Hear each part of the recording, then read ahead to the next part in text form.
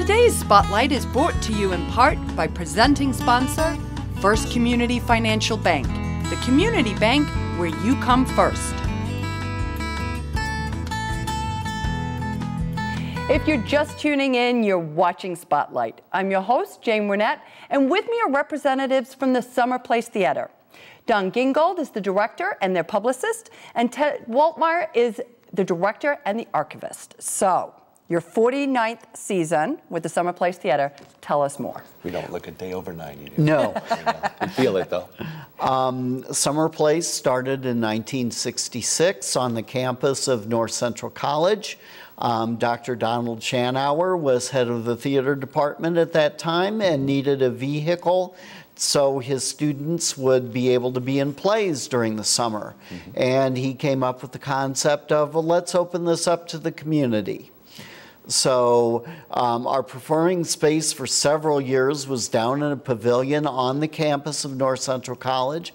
When they needed to build a new dormitory because they were growing, um, we moved our operations to the auditorium at Naperville Central High School, and we've been there happily ensconced ever since. That's yeah, that's a nice that's a nice piece, and I exactly. think it's so interesting that it grew out of a, a, need to give college students an opportunity, and then exactly. grew into something exactly. to be a, a, community theater. And now the actors go in either direction. We have people in, uh, of all ages. We have one of our uh, one of our cast is in his 42nd production this summer. Wow, yes. that's incredible. That's a great celebration, a big milestone. Exactly. And how about the youngest?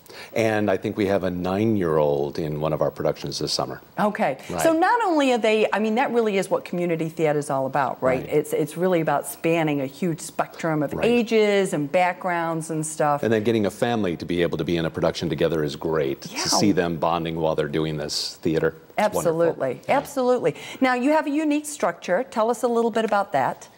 Uh, we have uh, uh, our board is all volunteers. Um, our uh, very few people in the entire organization are paid. Okay. Uh, our actors uh, act for free. our crew also, and there's just a couple of people that get just a stipend. Um, and that way, of course, we can keep all of our costs as low as mm -hmm. possible, which means we can keep our ticket prices as low as possible. So it's good for the whole community. So not only is the community in it, but the community can come watch it, right? Exactly. Okay. And you have a good turnout when it gets at Naperville Central. Quite, quite a good turnout. Yes. Of course, there's always a seat available. So okay. it's, it's a large auditorium that Central High School has. So you rarely could fill it. Okay. There's been times when we've been close, but we've never quite filled it, and that's good. Yeah. And if you find yourselves with a free evening that you don't know what to do, come and see one of our shows this summer. Okay. Now, you guys have just wrapped up Land of the Dead. William Tell us a little bit about that, because when I first heard it, it sounded kind of scary, but then I, I, it's not scary, right? It's, it's kind of a it's, comedy. It's well, a little bit of both. Okay. Mm -hmm. So zombies, tell us how that went. Zombies invaded North Central High School, or Naperville Central High School Auditorium for six performances, and audiences laughed. They got a little frightened, okay. but uh, it really was a good time. Okay, so you kicked off the oh. season with that, mm -hmm. and now you're doing something that I know a lot of people are interested in, which is a takeoff of Spamalot. So is, tell me about that. Is Spamalot? It's yes. Monty Python Spamalot. We okay. have to give them credit right. because the British know how to do things yeah. theatrically wise. Right. right.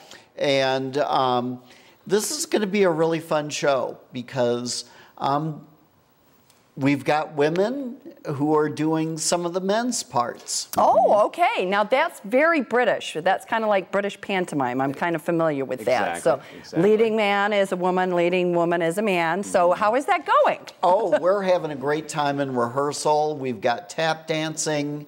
Um, we've got Laker girls. We've got um, Tim the Enchanter. Okay. Um, Do we have British accents? Are we working on the British we're accents? We're working on, the British, British accents. accents. Okay. But we want to make sure people understand the diction. Okay. Mm-hmm. I won't take offense. All right.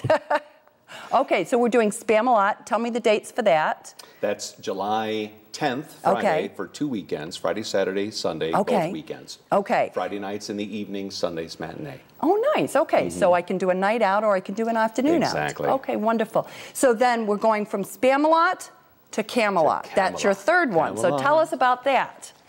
We have a great cast in Camelot. It is the Lerner and Loewe classic that was on Broadway with Richard Burton and uh, Julie Andrews and Robert Goulet. Um, and uh, we're doing that whole show just like they did it back then. Okay. Um, uh, a lot of fun. Uh, we've got a very good Arthur. Okay. Uh, uh, opera, um, um, classically trained in opera. Oh, and wonderful. very strong voice, very good. Okay. Uh, we have a wonderful, mischievous Guinevere, which Okay. is perfect for the part, for, for, for the role. Uh, a fun, uh, good-looking gala, uh, uh, good-looking Lancelot. Okay. And then a- a Very lot of fun. important. and then uh, I get to play Merlin and Ah. Pellinore, so I'll be in there. Double as duty. well. Double okay, duty, right. that's great. Now, okay, if I wanted to get tickets to come see these, do can can I buy tickets to the series? Do I buy them individually? Mm-hmm. How do I do that? Well, We there's have still season, season tickets. right. tickets. You still Okay. do that, but uh, you know, there's also going to the box office right then that night Okay. if you're prone, or go to Summer Place Theater, uh, the website summerplacetheater.com or .org, and you can buy them there, and then we'll have them for you at will call. So either way, Okay, so we can get there. Yeah. Okay. Easy. Now, one other thing, because not only are you doing Summer Place Theater, Right. you also have something coming up in the fall, right? Yes, we do things all year round. So I mean, tell the us thing in the fall, though, uh, well, uh, I'll save the fall for, for last, but we also do a cabaret. Mm-hmm. Uh, it often is in the early part of our season. It helps to kick things off and is a bit of a fundraiser to fund our big shows during the summer. Okay. And we do all kinds of fun songs, Broadway songs, and this last time was um, Jingle Mania. from We television. did uh, Oh, nice. songs from TV commercials and, And TV theme TV songs. Okay, so we can all relate to that, right? right? And then in the winter, we go to many of the senior residences in the area and we sing holiday songs. Okay. But in October, we have ghost stories in the park in the dark. In the dark. actually has ellipses in there Okay. to slow you down in the dark. And we tell ghost stories at the Grand Pavilion in the uh, in the park over Okay. by uh, the the cross from where the Carillon is and by Right. Centennial Beach. Okay. So it's right over there in the Grand Pavilion. And uh, there's there's uh, punch and cookies at the end for the kids, and they get to sit up in the front as our storytellers tell them scary stories. Uh, there's a G wonderful. show and a PG show where we get a little scarier. Okay, that's good. So we got to man we got to manage that. Exactly. have to Manage, the that. scare Don't factor. scare the kids. too Exactly. That's wonderful. Well, you guys are bringing so much wonderful community theater to us, and, and it really sounds like that might be a great place to recruit some new members while they're uh, sitting there listening to your Yes, ghost very much so. We have had people that are former audience members that are in our cast, and now some of them are in our production. So That's yes. exciting. That's exciting. Well, listen, mark your calendars for some wonderful summer theater and some scary ghost stories in the park uh, this fall. And check out the Summer Place website for more information and for ticket information. We're going to take a short break. We're going to be right back with more Spotlight, so stay with us.